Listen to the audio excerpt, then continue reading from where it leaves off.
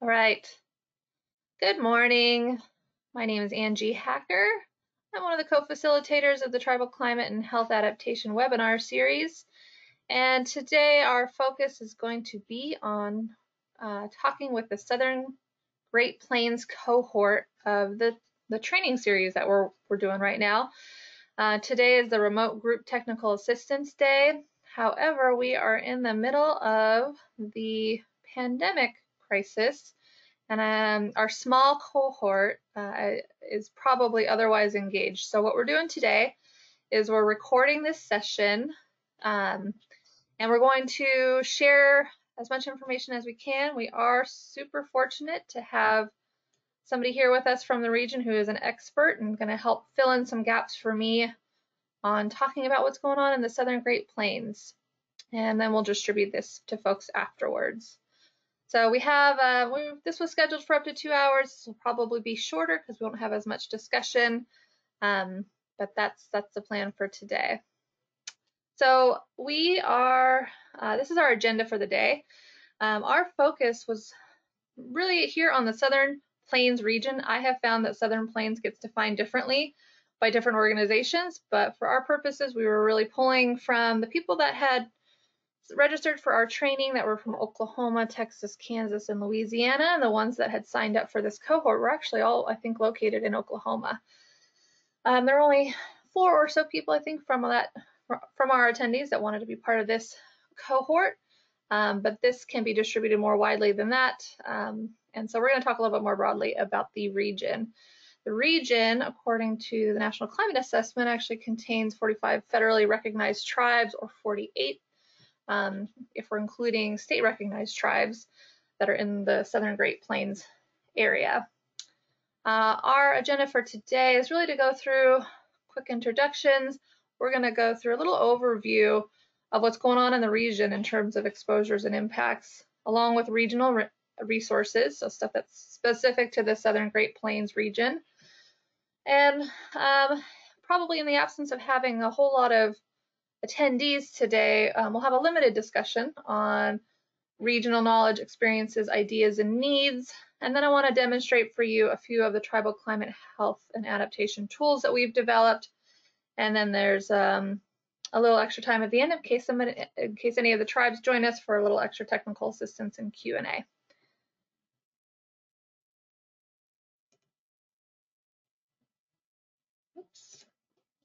Okay, so just a reminder about the purpose of these cohorts.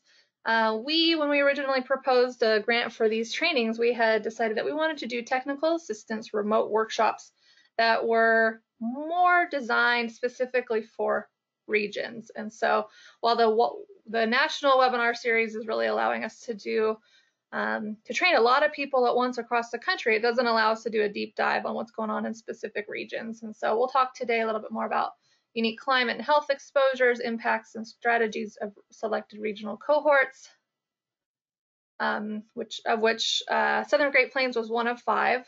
and it's really intended to supplement the national training um, by leveraging and sharing region-specific knowledge, data, partnerships, and other opportunities and resources. And to the extent possible, we do have a listserv for this cohort to the extent possible that we can help engage folks with each other and help build relationships across region, across the region, across disciplines, um, and help foster more collaboration. We'd be super happy if that occurred.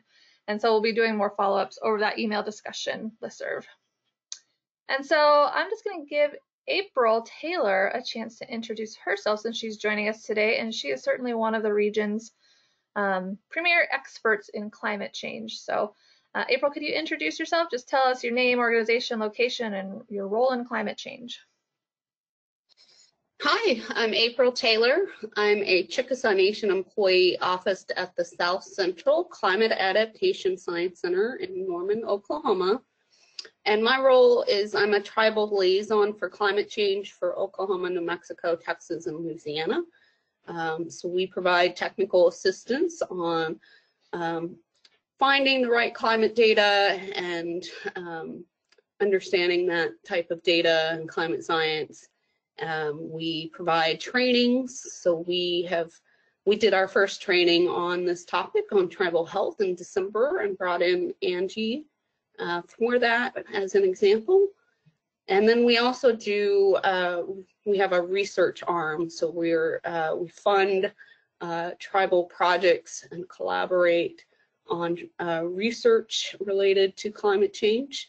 Um, and so we have um, some dollars to fund projects. Thanks so much for being here, April. April has been one of our MVP advisors for the Tribal Climate Health Project uh, over the last several years, giving us lots of guidance. So um, she and I are basically going to have a discussion, and she's going to fill in some gaps as we walk through region-specific information. Okay, so I have been taking a little bit closer of a look at some of the national scale literature on what's going on in the Southern Great Plains clim uh, climate exposures and your impacts. And so on the right, you probably remember from the webinar series, this is the framework that we use when we talk about drivers, exposures, and impacts, so the cascading effects of climate change. And those five key exposures um, are, are do apply fairly significantly to the southern Great Plains region. And so we do hear a lot about temperature extremes. We hear a bit about wildfire, storms, including hurricanes, definitely drought uh, affecting the aquifers in the area, as well as um, not so much melting ice affecting you directly, but sea level rise, at least in some of your coastal communities, such as Louisiana. And so some of the key messages that are coming from some of that national literature include uh, rising temperatures that are leading to increased demand for water and energy. And in parts of the region, this will constrain development, stress natural resources, and increase competition for water. And there's a lot of attention in the Southern Great Plains on agricultural practices. Agricultural practices may, you know, there's some maybe short-term positive temporary news in terms of heat and crop productivity, but in the long run and overall, especially with drought, um, we're seeing some adverse effects to agricultural practices that could lead to certain levels of food insecurity and economic insecurity. And those, you know, so what we're hearing in the national literature is that new agricultural practices will be needed to cope with changing conditions. Um, whereas the northern Great Plains is expected to see higher levels of precipitation overall, the southern Great Plains is expected to see lower levels of precipitation and to some extent has already experienced that, as well as greater evaporation due to the increased heat levels. And so both of those things combined are expected to accelerate depletion of water resources, such as in your High Plains aquifer. Um, we also hear about extreme events, such as storms, hurricanes, and wildfire. Um, and maybe we can hear a little bit more from April about how those are affecting tribes specifically in the Southern Great Plains. And um, the literature talks specifically too about communities that are already the most vulnerable to weather and climate extremes. And those are often including things like elderly, elderly um, community members, but certainly those tribes that are in the Southern Great Plains are considered particularly vulnerable. Um, we also hear in the Southern Great Plains quite a bit about vectors. So um, the habits and habitats and breeding patterns of vectors will change with climate change. It has already changed with climate change in terms of its seasonality, its spread and distribution. And so we'd be talking about mosquitoes, ticks, rodents, and fleas, and the diseases that come along with them. And we mentioned, in, particularly in Louisiana, coastal sea level rise that is affecting some tribes. So uh, I have a little discussion here, and maybe April can fill in about what are some experience happening in tri with tribes in the Southern Great Plains, and what health impacts are those communities facing.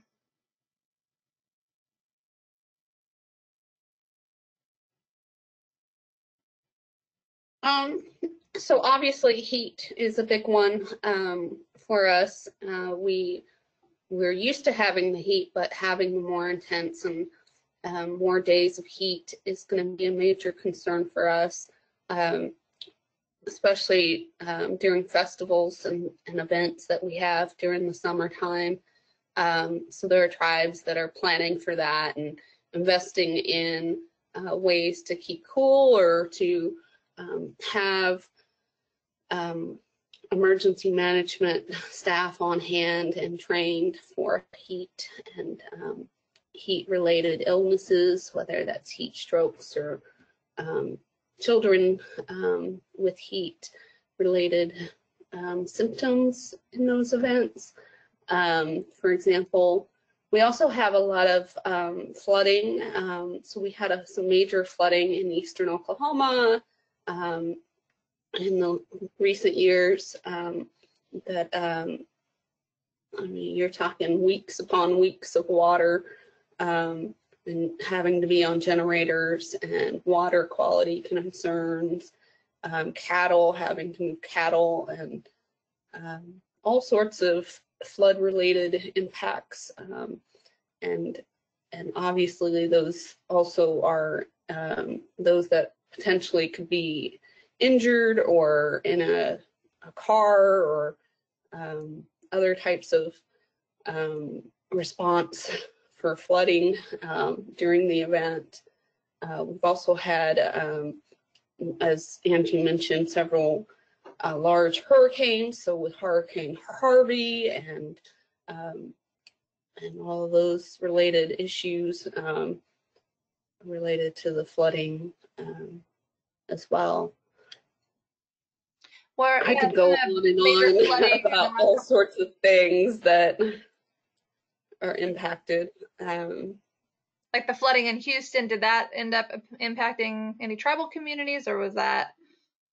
So we have um, Alabama Coushatta in eastern Texas, um, and they're in the evacuation route as well. And so um, definitely major impacts. Many of their citizens live down in the Beaumont and down toward Houston area. Um, we have um, major droughts as well, and so issues with water scarcity. Um, many of our communities are are dealing with um, you know no backup supply or means for water and water quality under those conditions um, as well. Yes, I actually read somewhere that uh, the south central area is actually home to the most, the majority of the United States emergency declarations. Is that, does that sound right to you? It's because of that gradient that we have. We have everything, right? So we have the the floods to the droughts, and we have those sort of that variability from one end to the next. Yeah. Um, so we have what I call, or what's climate scientists refer to as cascading events. So when you have one right after the next one, so you may have a large flyer and then you have the flood that comes with it, right? Like it's, right. you're going to get more than, so planning for multiple events and multiple extremes. Right. Um, and those sort of, you have to plan for everything here. And so the all these secondary exposures that we talk about, um, I think are applicable to your area. Certainly food insecurity, water insecurity, vector changes. Um, what about worsened air quality? I think you guys are in an area where air quality is typically fairly good, at least better than in parts of the Southwest where I am. Are you seeing changes to your air quality? Um, so the tribes do have air quality programs, and so we have good data on those types of things. Um, so we obviously see um, spikes when the when the fires come through. It's really cool because it's a clear signal, um, and you can see those on the satellites and see where the air quality should be bad and um, and things like that. And but yeah, I don't I don't think of any tribes that are dealing with major uh, climate change concerns with air quality. Right, like high levels of ozone or things like that. I would say the only tribe that I've worked with that it came up as an issue was again Alabama Coushatta because of the Houston um, and all the oil and gas production down that way. Right. Um, but that again, that's not a, a direct impact due to climate change. Um, it's obviously uh, would be um, related to our society and our decisions that are driving, you know, the emissions and things like that. So if we were to um, transition and mitigate our um, our greenhouse gases, that obviously would help with um, with air quality type issues like that. That's right. Uh, and of course, you know, you did mention storms and flooding, flooding being severe. Of course, in the aftermath of that, we'd be experiencing things like indoor air quality concerns related to mold. So that's one way that air quality could also be impact, impacted. Right, absolutely. So yeah, I think you mentioned a lot of the potential public health risks that result from these exposures. I'll just run through a few of them that have popped out in the literature for for me, um, you mentioned heat-related illness, which can also lead to premature death.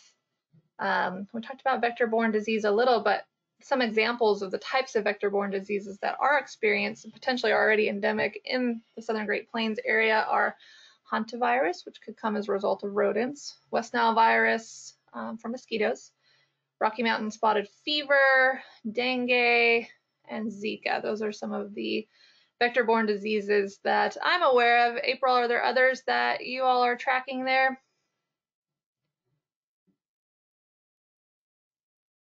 Um, yeah, so we uh, at the center we are partnering or working with a mosquito specialist or researcher, and so he's um, I think yellow fever, yellow fever, or there's another one that he's really interested in.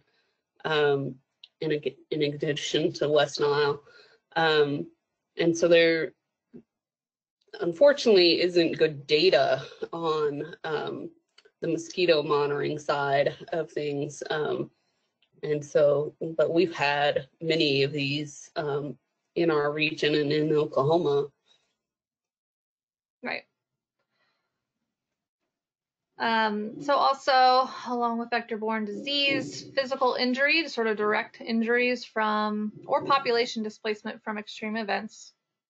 For example, the floods that we've been talking about. Um, I don't know if the tribes have good data on the number of actual injuries that have occurred as a result of some of these um, sort of catastrophic storms. Um, but uh, I'm sure you're an area where those things are somewhat being tracked by region also, oops, excuse me, disruptions to water supply availability. That chart there on the right uh, is talking about water supplies. Um, the projections for water supplies beginning to decline. And so the point of this chart that's trying to make is actually that even without climate change effects, water supplies are projected to decline by 2050, according to what they're calling the Water Supply Sustainability Risk Index. Um, but with climate change effects, then you see a far more severe scenario of water supply um, supplies projections of declining levels. And so what I thought was interesting here is how badly the southern Great Plains looks like it will be affected. So certainly in the extreme area all throughout the southern Great Plains.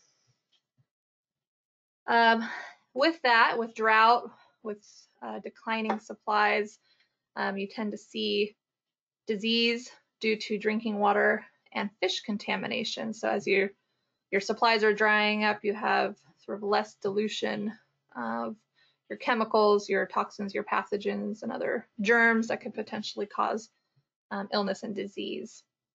Um, you can also see disruptions from uh, in the food supply as a result of, uh, you know, not just the fish contamination, but also the agricultural production, especially for communities that are reliant upon their local agriculture.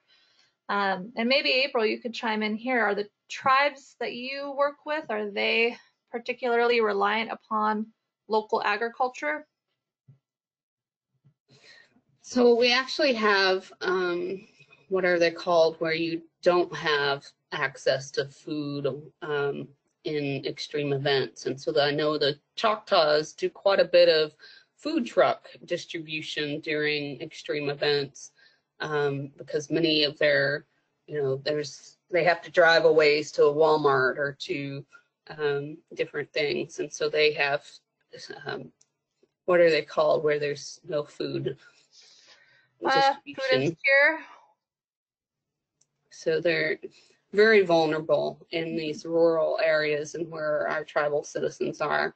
Um, when Hurricane Harvey hit, um, the USDA um, stepped in and limited, so you weren't allowed to sell um, your crops or your uh, your beef, your cattle, and things like that that year. Um, and so there were definitely impacts there um, locally. Um, and same thing, um, many of these tribes that are providing or rely, their economy relies on, so I know in Louisiana, I was talking with them about, you know, the oil spill and their shrimping and crabbing um, or crawfish, right? And the salinity and changes. So when these impacts happen, it's impacting them directly um, in their their well-being, their their their economy. Right. And same thing, we have a lot of native farmers in our region. Um, many of the tribes have significant ag programs, whether it's cattle or bison, um, wheat operations. Right. So a tremendous amount of impacts. So when I look at the national literature, it really does focus on food and water um, as being some key impacts to prepare for. Uh, and you sort of alluded to also to some of the economic problems associated with drought. Um, and for some people, that can lead to things like economic anxiety or other types of mental stress associated with drought, just the conditions changing, the loss of nature, the loss of um, economic and livelihood opportunities. Um, and then finally, last but not least at all, threats to tribal culture traditions and practices, uh, such as things like with drought comes a decline in native species, or as April had mentioned, a lot of the events or festivals that may be occurring in warmer weather months may be um, disrupted by extreme heat. Are there other uh, public health risks that you might throw in here, April, that we didn't cover? I think you already kind of went through a pretty good list earlier. No, I think that's a good sort of overview, introduction to the types of things. Yeah. Okay, great. So I want to turn our attention then to, you know, you, at some point the tribes in the Southern Great Plains may turn to the um, the point where they're ready to do vulnerability assessments or climate adaptation plans, or maybe they already have, and now they're looking to incorporate health as an aspect of maybe the next iteration. And so I'm going to go through some resources that folks in the Southern Great Plains in particular can look to as they're developing these kinds of studies or reports. Um, and uh, I think they're they're incredibly useful. I use these kinds of things as I write reports as direct reference material um, that I can add to uh, to my narrative pieces. And in some cases, I'm going to share with you some experts that you can go to that can help you connect with um, other resources like data. So here's some national, some of the national reports I've been talking about. These are where I'm pulling some of this initial information. Uh, a key one, a pre, um, sort of premier report in the nation was the fourth National Climate Assessment that was released um, in the last couple of years. Um, there's actually a particular chapter on the Southern Great Plains, so I've got a link there for you. Um, there's also something uh, in that National Climate Assessment called the Great Plains Highlights. So that's a short version of some of the key things you might want to know. So say, for example, you're trying to work with some decision makers in your community and you need some short talking points that are really getting to the heart of the matter, you could look at those highlights and pull some information quickly from those um, to share about some of maybe the urgency or, or importance of some of the climate impacts coming your way. Uh, the National Climate Assessment also has a tribes and indigenous peoples chapter that's not particular to the Southern Great Plains region, but it's um, also a good piece of information. And another national report um, from the USDA is called Climate Change and Indigenous Peoples, a synthesis of current impacts and experiences. And I just really like this report. It's another good reference document. It isn't particular to Southern Great Plains, but they do a good job providing case studies from all over the country, which would include Southern Great Plains. Um, some of these also have good case studies um, that can help you connect with some of the tribes in your area that have had experiences or say like the, uh, maybe April might help me with the pronunciation, but the Oglala Lakota tribe, um, while sort of neighboring to your region, uh, they've been doing some work in developing climate adaptation into their sustainable development plans. So a few more reports that are actually developed from your region, not just at a national scale. Um, a lot of them seem like they're focused pretty specifically on agriculture. So there's a resilient southern plains agriculture and forestry in varying and changing climate, a conference report. I got, I got all of these out of the um, the regional climate hub, and we'll talk a little bit more about what that is. Uh, Southern Great Plains assessment of vulnerability and preliminary adaptation and mitigation strategies for farmers, ranchers, and forest landowners. and then developing agricultural solutions for Southern Plains, responding to climate change and resource constraints. Um, so pretty good. What I, I didn't see a whole lot of is any particular regionally developed reports um, that are specific to uh, maybe a more comprehensive vulnerability assessment. Um, but maybe April, if you're aware of those kinds of reports, you can share that with us as well.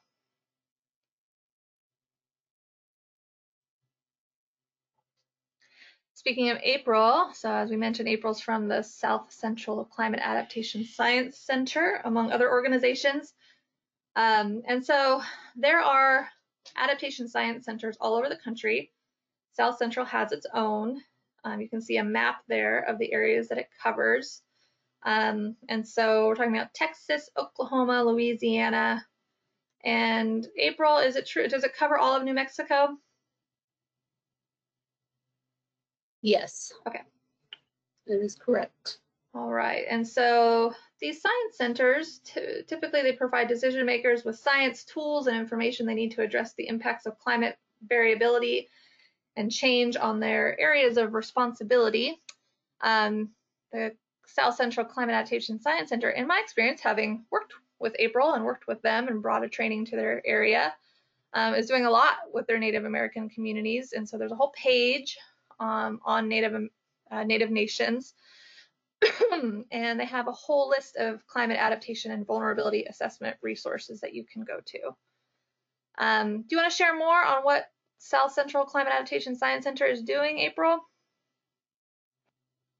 So I mentioned um, the three areas um, that we focus our tribal engagement uh, program on. Um, so the workforce development, we do uh, a lot of Native youth outreach and um, STEM education along climate change. So, and we're free. We can come out to any of your tribal community um, youth outreach and uh, festivals or meetings and play with your kids and education. Um, we do um, have um, Native students, so we've had 32 Native students work for us, and so we have them um, officed with us at the University of OU.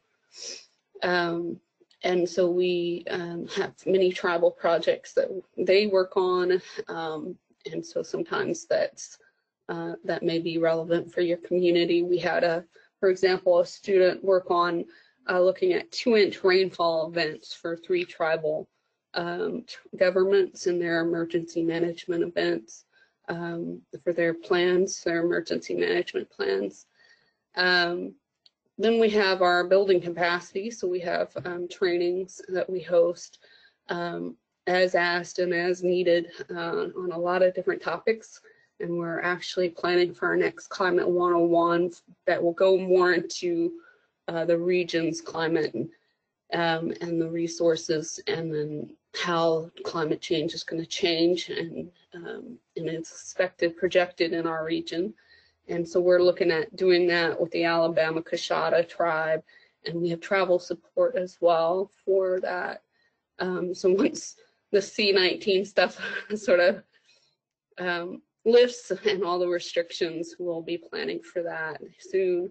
Um, we're also planning a NASA Earth to Sky workshop, which is a um, it's it's 50% NASA, but it's on climate education and communication.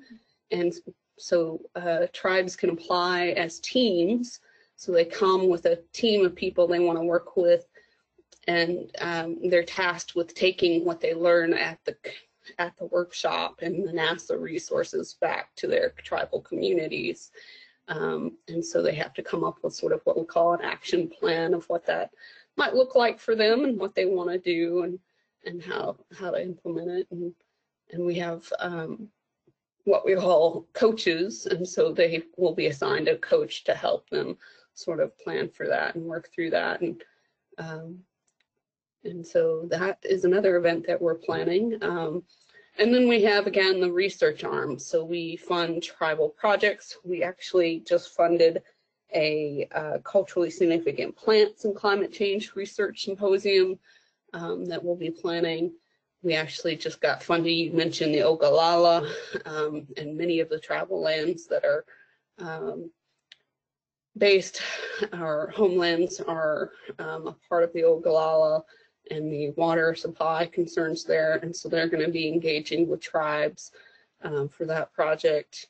Um, so there's, um, and there we have an RFP. And so if there's something that you're needing if you want to look at vectors in your region and how those things might change and what sort of is driving those changes. Um, we can go after funding for to look at those types of questions more in depth. So that's really helpful. Um, so for those kinds of things, April, I'm sorry to blast your picture up, um, but there, there she is. She's your she's your go-to.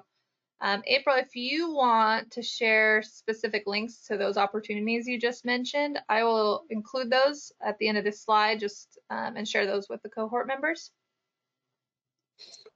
Unfortunately, as you know, with C19, some of those things have been post uh, postponed. Um, yeah. We'll definitely um, send those out and include you all in your cohort um, once those things pick back up. Yep, sounds good. Um, so you've got April's contact information here, as well as how to find her her website. Um, and she's again, she's with not just the South Central Climate Adaptation Center, but also the Chickasaw Nation and Choctaw Nation of Oklahoma. So thank you, April. Another regional resource uh, is the Southern Climate Impacts Planning Program, SCIP. Um, that's based out of Norman, Oklahoma there's the link for you. So it's one of the uh, NOAA RISA teams. It's a regional team. They have these all over the country as well. And so they're looking to increase the awareness of and preparedness for southern U.S. climate hazards, um, both present day and future conditions. And so they can do things like provide decision makers with climate hazard data um, and identifying critical areas of applied climate research. Uh, April, do you work with these guys at all? Absolutely. They're right across the street, um, and we actually partner on a lot of our trainings. Um, and so they have a little bit of a different mission. They do a lot of working with stakeholders and assessments of what are sort of the needs assessments, um, as it says here, stakeholder groups. Um, so they have a little different mission um, than we do. Um, so it just depends on what is appropriate to work with them on. Yep. And I mentioned the Southern Plain, the, the um, U.S. Climate Hub. So it's actually administered by the USDA. They're all over the country as well. The Southern Plains has its own climate hub, and it develops and delivers regional science-based information to partners and producers in Kansas, Oklahoma, and Texas that enable climate smart decision making. So another place to go for resources and assistance as well. And then again, one more uh, sort of of these regional sort of centers that can support local needs. Southern Regional Climate Center is actually, uh, this one's located in Baton Rouge, Louisiana, and its mission is to increase the use and availability of climate data tools and information in the southern U.S. to help private and public sector constituents reduce risk and improve resilience um, to the impacts of climate change. So um, if it were me starting to do a vulnerability assessment, probably first go to April and get her advice about where the best data is locally. And then I'd probably browse around some of these data sources as well. Um, is this kind of a go-to for you, April, as well? Yeah, these are all great um, partners that I work with. Again, um, so depending on what their sort of mission and what they provide. Um, but yeah, feel free to contact me and I'll um, put you in the right direction and right contacts. Great. Actually, I'm gonna, that one comes up a little bit later. Um, one of the health resources I wanted to make sure folks are aware of, uh, we talked about it a little bit in the national webinar series, um, is the Tribal Epidemiology Center. So as you can see on this map, there are 12 of these tribal epidemiology centers across the country.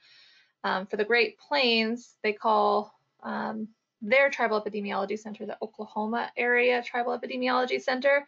And that one covers Kansas, Oklahoma, and Texas. But if you're in you know, slightly to the west, there's an Albuquerque area um, tribal epidemiology center.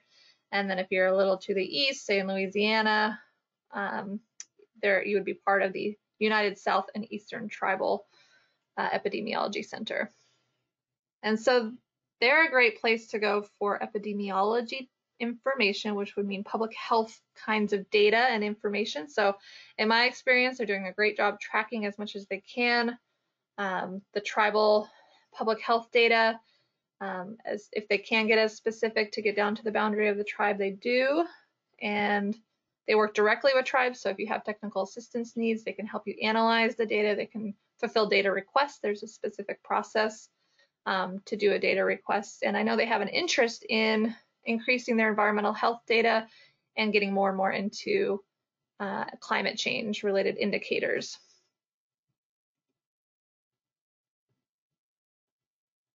So a couple of state um, specific resources.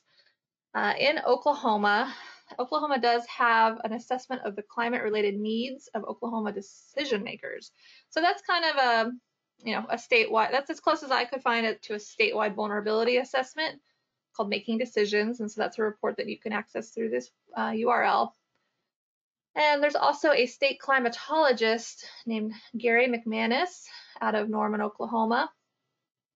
And so his job is to acquire, process, and disseminate climate and weather data and information for use by Oklahoma citizens. And so there's a little snapshot of the website for the Oklahoma Climate Climatological Survey, which is uh, the organization he's a part of.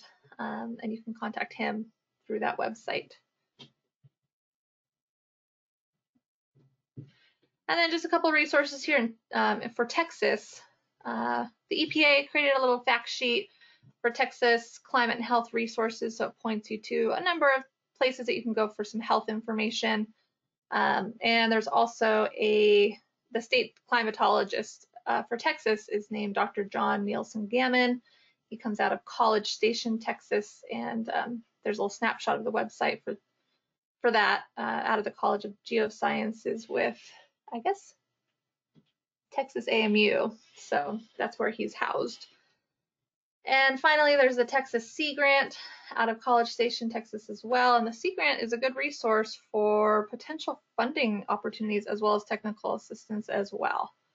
Um, for both Oklahoma and Texas, actually the states in the Southern Great Plains, I looked at some of the public health, the state public health websites, and I didn't see a tremendous amount of information on pub, on health and climate change impacts. Um, and so maybe they're maybe they're working on that and some of the other cohorts, you know, the states are very active with climate and health. Um, and so uh, not as much, you, you may not have access to quite as much information on the health front. But it doesn't mean you couldn't reach out. You could reach out to your state, uh, your state public health department and find out if they have some information for you. Um, so those are the resources that I had come across that really jumped out to me as potentially being helpful if I were to be uh, working with a tribe doing climate adaptation work.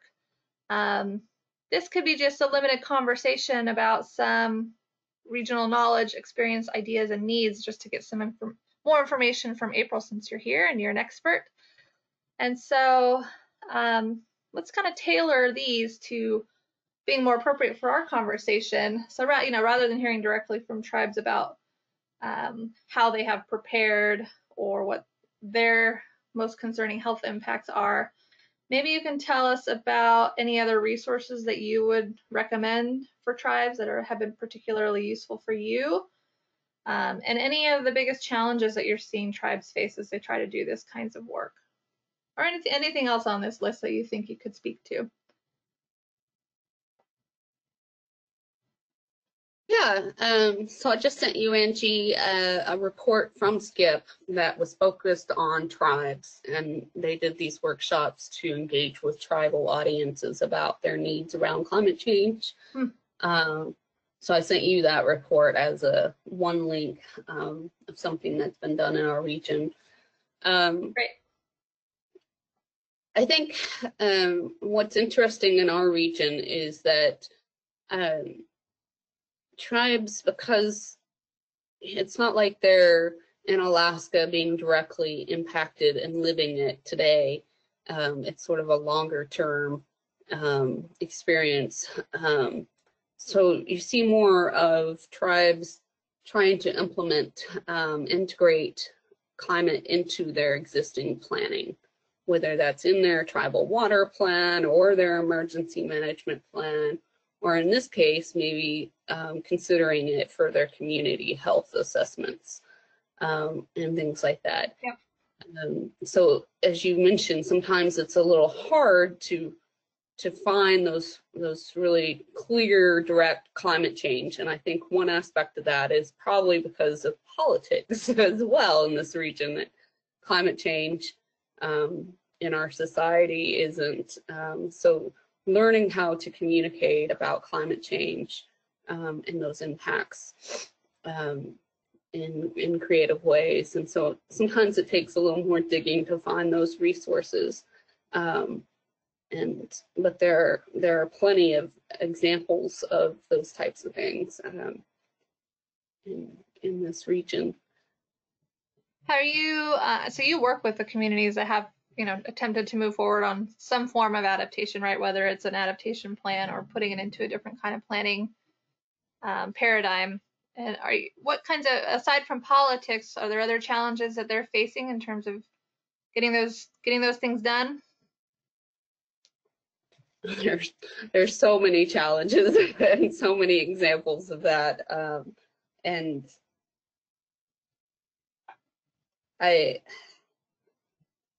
it's each tribe has their own things and their own priorities and their own um, challenges um, and things that they're dealing with um, in in some way. You know, whether it's their own capacity and turnover with tribes. Um, we've had a few projects where we've had at least three different tribal environmental staff. Um, so it's really hard to to go back and sort of get them up to speed. Um, of what has been done and pick it up from there. Uh, I think is one of the um, challenges of working in Indian country um, as well. Um, working with consultants and um, that were hired to bring in to to get funding and then um, those sort of challenges as well. Um, leadership buy-in is another big one. Yeah. Um, so all sorts of challenges. yeah, competing priorities, especially now with COVID. I know a lot of tribes across the country are having a hard time getting attention on on uh, any ongoing processes for adaptation. Although um, what I'm hearing from some tribes is that the attention given to emergency preparedness is actually potentially helpful in preparation for climate change. Yeah, um, especially in our region, um, that's one area that I really see as an opportunity for us um, is the emergency management. We have quite a few tribal emergency management uh, staff. We have a, a, group called the Intertribal Emergency Management Coalition, ITEMC, um, and I'm always at that conference and involved um, and and so I really see that as one of my key focus areas. Uh, and maybe we could turn to some, you know, if there's some positive stories coming out of the Southern Great Plains region in terms of tribes that, uh, even if they're not calling it climate adaptation, if they're enacting projects or have some kind of success stories, what strategies are working? You know, is there something that in the Southern Great Plains other tribes could benefit from replicating? Yeah, um, so the Chickasaw Nation did a drought plan, and so they're looking at those sort of water scarcity issues um, and what communities are really struggling when those droughts hit. Um, and what was interesting, I think, for me, is they they're working with their water suppliers across the jurisdiction. So it's not one community for themselves. It's um, there's a source or a water supply, and there's multiple communities across the landscape that um, rely on that water source. Um, and so, really um, leading that effort to get those communities to work together and um, communicate, make decisions, and and understanding that what they each community does during a drought impacts the other communities and and so those really difficult decisions and conversations um, across the landscape um, as well. Um, another great example that I um, really, as you mentioned, they don't call it climate adaptation because in a way tribes have been adapting and lived off the landscape for since their origins. Um, and so for me, uh, tribal seed banking is a really key um, adaptation option uh, for this region. Um, they've been doing this with the Tribal Alliance for Pollinators, and um, so trying to restore milkweed and butterfly habitat and making um, and so they're already considering ways to change the way they restore those things and across the landscape and on a larger scale and multiple tribes.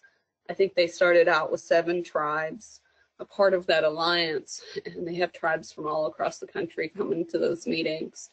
Um, and so those those needs to really think outside of um, you know droughts aren't just a a Chickasaw problem. It's across the landscape. It's um, droughts occur, you know, in multiple different um, regions. California droughts, you know, it's not. Um, so how do we work at a larger scale and with other tribes and partner and collaborate? Um, I think there's some great examples of that here in the Southern Plains region. Um, I mentioned the Intertribal Emergency Management Coalition and them, you know, doing these conferences and learning and providing capacity building and working together and um, helping each other out across the region when the events happen when harvey happened the tribes call to action um, they all rally and go um, they help each other out they're present they have these um, sort of sometimes you even see a, a more formal memorandum of agreement where they're going to be there and help you out um, in those situations. And so it's really cool to see that sort of happening as well. Is there a way for tribes who aren't already part of those efforts to sign up or subscribe or join uh, one of these coalitions or collaborations? Like I said, there's the big conference and meeting for the emergency managers. Um, and so they're always um, every year I go to that. It's always, I mean, been really impressive of how that's grown and developed. Same thing with that Tribal Alliance for Pollinators group. Yeah. I mean, they really continued to grow and, um, and so yeah, there's plenty of opportunities for those things. And then um, I know you know the Climate Resilience Toolkit does a good a good job of collecting case story case stories by region or case studies. Um, but is anybody in your region uh, collecting and compiling um, example materials? So say, you know, you mentioned there's some good strategies, some good projects. Um, is there a place that tribal community members can go to look at those projects and learn more so they could try to replicate them? So my my perspective on that. So yes, there those types of tools or resources are great, and we try to bring in speakers from other tribes to share um, and things like that. But for me, you know, it, those types of resources have to be maintained and and housed, and um, the funding to go toward development of tools like that. And how useful are they for the time and resources that it takes to develop something like that? Um, I, I obviously have a good list internally, I know. But the other sort of thing for me is it's you have to get permission for the tribes to tell their own story, Yeah. right? So for me, you know, I'm for Chickasaw Nation, I'd have to go through their process to be able to share that. That's theirs to share. Um, so I can direct you to their drought planning and their drought resources and learn about that. They have a website for that Right. um, type of thing. Um, so it just depends on what type of um, examples of adaptation options you're looking for um, and where that is. But no, we don't have a, a sort of place where here's all the tribal adaptation or even the non-tribal adaptation strategies and options and things that are being done in our region. Um,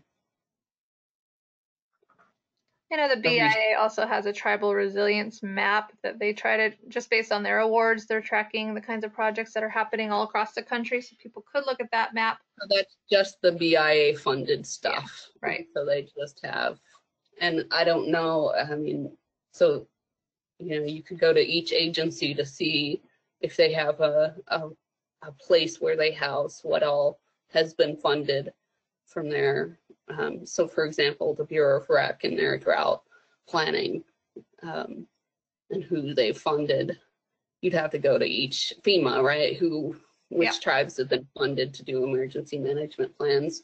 Um, so Right. Well, it sounds like, uh, you know, if I were somebody working with a tribe in Southern Great Plains and I was like, I want to learn how this, I heard somebody did seed banking and I want to learn more about how they did it. And so I can, you know, accelerate my process a little bit. I'd probably just go to you and say, April, could you connect me?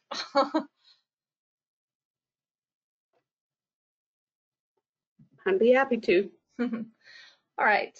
Uh, well, you did also a good job talking about those examples of strategies, also talking about some of the partnerships that have been forming between tribes and between sort of multidisciplinary agencies. So thank you for that. Is there any other local um, knowledge that you would like to share? Any anything else that you think tribes should be aware of? Um, I'm sure there's a lot, but key resources or um, key projects, key um, successes.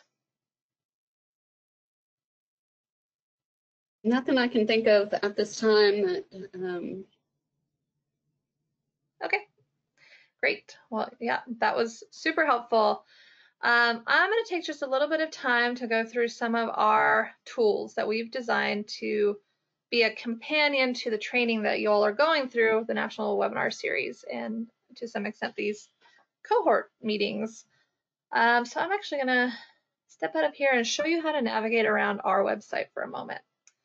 So this is the Tribal Climate Health Project website. Maybe you've already been to it. There's a few places that I really want to make sure you're aware of to go to. And they're pretty much all under this subheading Learn. And so under Learn, you could go to one of the first things we de developed, which was the Resource Clearinghouse. This Resource Clearinghouse houses up to, I think, around 500 resources to date. We're trying to keep it updated. So anything that might have some relevance to tribal communities, climate change, and health and or health. So brushes across one, two, or three of those categories, then um, we're trying to put it here. And it's a filterable um, inventory of resources. So you could cover, you could sort by topics covered. So say, I just want to know about health impacts.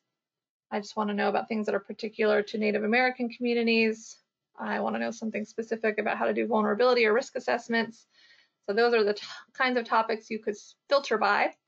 You could filter by materials available. you know, what is it a case study? Is it a, a toolkit? Is it a sample plan? And you could also sort by resource type. And then if you want to look specifically at your area, um, on this website, we would call folks in the Southern Great Plains South Central, and you could click there and hit submit, and then you would see the resources that are available that are specific to your region. But now that I've gone through this process of digging a little deeper, I actually have some more materials to upload for your region. And that will happen soon. Along with the clearinghouse is a map. And so those things that do have a specific location attached to them, we were able to geocode basically and throw on a map here. So if you wanted to go and scan and look what's available for your region, you could dive a little deeper on this map. Mostly though, I want to spend our time pointing you to training materials. So um, we've done quite a few trainings for over 800 professionals across the country so far in the last several years. And you can find all the materials for all of those trainings um, on this page. More importantly, some of these companion tools are what I want to point your attention to. Uh, one of our key tools that we developed is called the Exposures, Impacts, and Strategies Inventory Tool, the EASY tool. Uh, we're actually going to dive more into this on our next national webinar session um, in just a couple of weeks. But let me, I'm going to spend a little bit more time just on this cohort call, just making sure that you're aware of how to download it and how to use it. So this was a customizable companion tool that's really was designed based on the experiences we were having collecting all of this information about climate change and health impacts and trying to figure out how to communicate this to tribes that are working on vulnerability assessments and, and climate adaptation and thinking rather than just throw a bunch of information at trainees, it would be better to organize this information into a tool that helps folks walk through the process of determining the severity and likelihood of various exposures and impacts specifically to their community with real data sources and allows them to make some decisions about how to adapt. So all you would do here is click on the link and it will take you to an opportunity to download it. So here it is down on my screen. You can open it up. This is the latest version. We still consider it um, a beta version as we're continuously working on it. Um, but it is available for you to use. So let me pull this over. It's in Excel. So if you're not an Excel lover, it may seem like a lot, um, but there are three main tabs that I want to point your attention to. So the first step typically in doing a vulnerability assessment of any kind um, is to evaluate your exposures and so this tab allows you to do that and it allows you to actually do some filtering by region. So if all you did was to just go in here and filter by your region, you could actually, so and here we call it Great Plains, you could filter by Great Plains. It would filter for the exposures that the exposures and secondary exposures that would be more most significant for the Great Plains region. Along with that, it would give you an opportunity to look at a pretty long inventory or menu of, in, of exposure indicators, meaning, all right, if I want to know how badly drought is going to affect my particular community, what are some metrics I can use to measure the changes that are occurring um, in drought? Um, and so you can choose, you don't have to do all of these, but here's a menu of some of the best practices from the literature and research that we've conducted in building our curriculum. And so these are some ways that you can sort of uh, identify whether or not dry, drought is a problem for you. And so along with that comes a series of links. So national data sources. Um, we do a lot of work in California, so there's a whole set for California data sources, but um, we basically have a this set up as a worksheet that you could add in information um, based on historical data, baseline data, and projected data. And that will give you an opportunity to look where there is data to look across trends and to see what changes are occurring. So you can kind of see what the level of risk is that's um, that you should be preparing for. And over here, you would just mark high, medium, low, or none. And in our webinar series, we'll talk a little bit more about how how to engage your community into making these kinds of decisions. But capturing the data is a can be an overwhelming task, and we've hoped that we've made it slightly less complicated by suggesting and recommending some indicators and some data sources for you to take a look at. By all means, if you have something local that's better, we encourage you to use it. It's best to use as location specific information as you can. Some of these sources can maybe only go down to the county level, still somewhat meaningful, but not as meaningful as if you had something that was particular to your tribal boundary. The same kind of thing um, we do for impact. So not every not every climate vulnerability tool or process um, goes into this level of detail, but we wanted to say, okay, well now we know the exposures and secondary exposures. Let's um, take an inventory of the potential impacts that communities should be looking out for and give people an opportunity to look at the indicators for that and where there is data, measure it. And so same kind of thing, you can sort, you can sort by region, you can sort by exposure, you can sort by impact type. And so here, since we're looking at impacts, you could look at human health, cultural and spiritual health, socioeconomic health, natural environment, or built environment. So this isn't made exclusive to just health, but it does have a pretty big focus on health. And so, you know, for example, here's one possible impact of temperature extremes would be heat related stress, which we've talked about. So how then might you measure how bad, how severe and likely heat related illness would come to your community? Well, here's a variety of indicators that you could use to measure that and some data sources that we're aware of that you could go to um, to figure out your historical baseline and projected um, trends. And as you go through here, you have the same opportunity by impact to rank your impact vulnerability level. So at the end of the day, what you're really trying to do is say, all right, I've looked at all the information on all the potential impacts, and I have had an opportunity to prioritize the ones that are most concerning so that we can act upon it. And so that's what this is intended to help you do. This is not something you have to use, but if it can shortcut the process for you rather than having to go reinvent the wheel and do all the research yourself, we'd be very happy if you make use of it. Um, I'll point this quickly to a big part of determining impact vulnerability will be population sensitivity and adaptive capacity. We'll talk more about this in the webinar series, but um, this is a whole list of potential population sensitivity and adaptive capacity indicators. So what those mean is basically how the impacts that we foresee coming your way will be modified in terms of severity by certain community characteristics, some that make you more sensitive to the climate changes that are occurring, and some that make you more prepared or increase your capacity to adapt.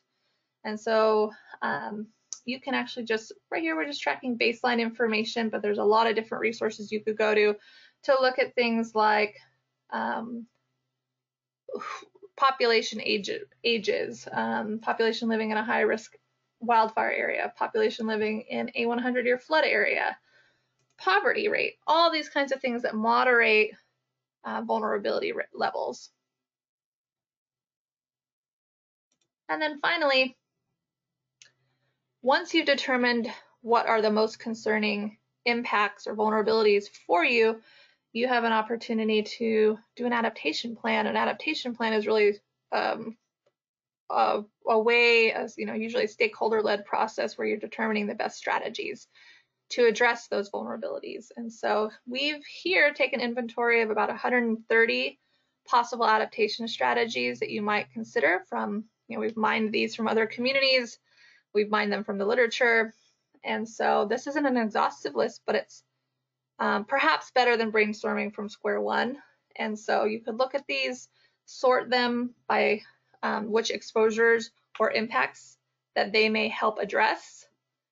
Um, and you can also sort them by the strategy type. So we categorize them by things like policy planning and land use or infrastructure improvements, and there's six different categories.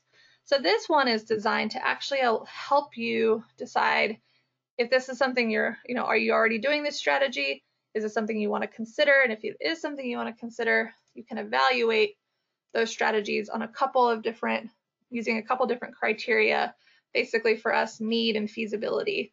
Because at this stage, you probably won't have the resources to do full cost benefit analysis of each of the strategies that you want to consider putting in your adaptation plan. But a, a high level review just to eliminate any fatal flaws or anything that's just unreasonable is a is a good idea. And so this just is a worksheet to help you do that.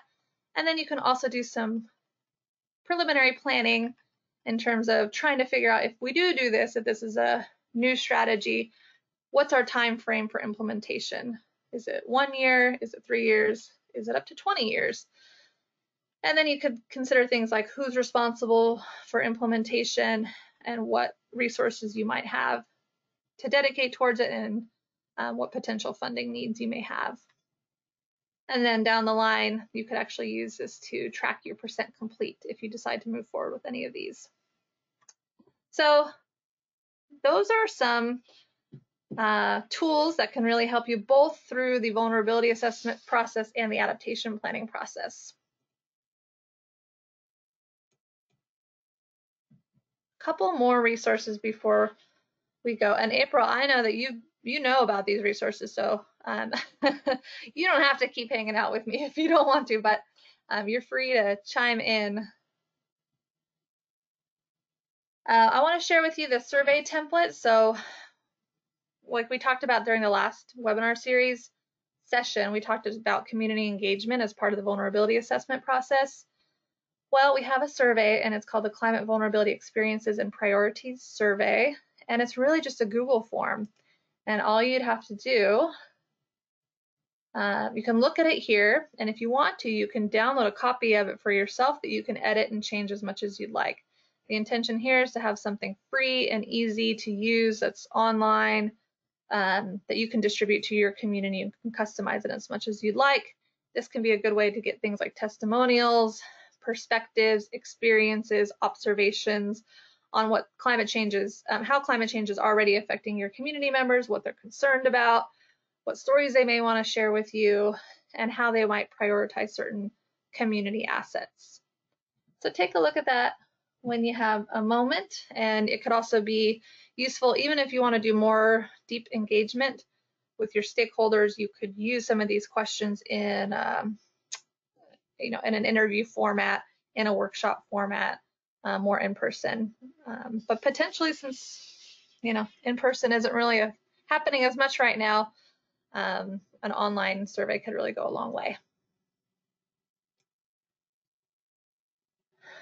Final yes so I think that's a great resource um, and a good starting point for some of the the smaller communities. Uh, we actually have um, several communities in our um, in Oklahoma that have done uh, survey type uh, approaches. Um, so the Delaware Nation uh, is an example of one. If you wanted to see or talk with them, I put them in touch with them.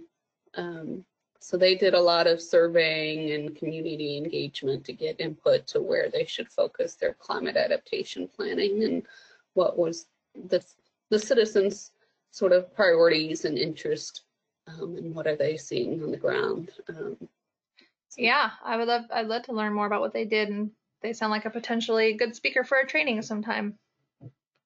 And with SAC and Fox, we did um we brought in a film crew and so we so I sat and interviewed uh, community members at one of their language festivals, hmm. and so they have a wonderful video that um, resulted out of that of of interviewing and surveying their their community.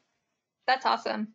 Yeah, I mean, really, my experience, it depends on the level of resources available to a community, how deep uh, of engagement a community can go. The deeper, the better in terms of actually tailoring a climate adaptation plan to the needs and and uh, priorities of the community. And then some folks just um, are too strapped. Sometimes it could be a very time consuming process. So sort of we encourage as much as you could possibly do. Here's one, you know, here's one resource to get you started and to get you thinking about what kinds of questions you might ask. But yeah, if you um, send any links along that you can, April, that would be great. I'll include them here as well. Great. Um, finally, there's some sample reports. Um, Pala, who is the lead for the Tribal Climate Health Project, has done a vulnerability assessment and adaptation plan. Both of these reports are here that are downloadable in Word. The intention here is that all the formatting, the references, even some of the text, however much of it you can use. Of course, you have to customize it for your own community, but if it, any of it is useful, it's up for you to use. Um, and so sometimes some of the hard work comes into the nuts and bolts of developing a report. And then uh, some examples of Pala's fact sheets. So after it completed its adaptation plan, it also developed some community education around its four main exposure areas. So you can see um, an example of some community outreach materials. And then we also have a link here to ITEP's climate change resolution template, which we recommend folks use when they're trying to get early buy-in or adoption of their vulnerability assessments and adaptation plans.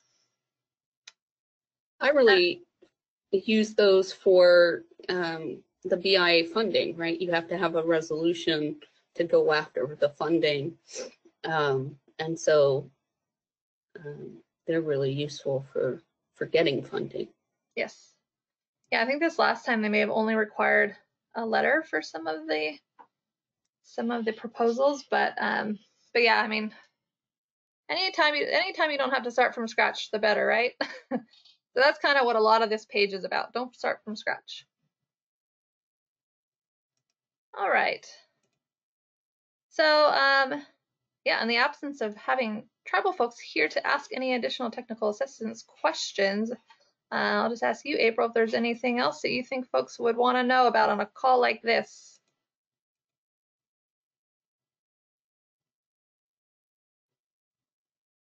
No, I think these, as you know, Angie, I've um, been a part of the planning team on these things and watched these things develop. And as you guys have um, developed these, and I think these are great sort of starting points and to learn from what you guys have done. Um, well, thanks, April, and thanks for all your help over the years. Um, so any additional resources that I've learned about over this call, um, I'll be sure to add to this last page of um, oops, this last page here on the slide deck. We're going to distribute the slides as well as the recording of this session.